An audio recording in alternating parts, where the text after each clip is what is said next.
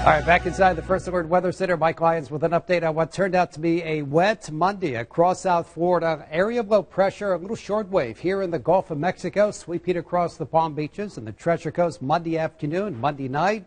Got some good soakers in some locations, especially around Lake Okeechobee. Rainfall totals of one to two inches, even isolated amounts up to three inches of rain. It is just what the doctor ordered. As we look at our satellite view, the clouds continue on this Monday evening from the Treasure Coast all the way through South County. Now, our future track showing the rain moving away as we head through the evening hours. Skies beginning to clear, especially overnight.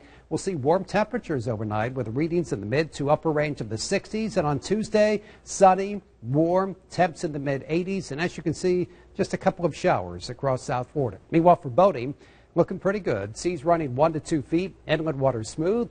Winds tomorrow from the southwest, 5 to 10 knots. First alert, 7 day forecast will keep it wet. At least a chance of a rain shower Tuesday. Better on Wednesday and Thursday as we head toward Friday, Saturday, and Sunday. The heat, the humidity, and yes, a chance of rain making a comeback.